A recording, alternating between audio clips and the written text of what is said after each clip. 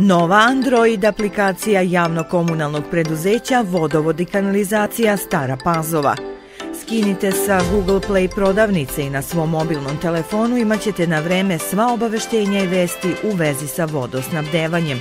U slučaju kvara, istog momenta dobijate informaciju o njegovom otklanjanju. Pomoću nje možete se informisati o primanju računa ili prijavi stanja vodomera. Android aplikacija javno-komunalnog preduzeća Vodovod i kanalizacija Stara Pazova i sajt vodovodpazova.rs.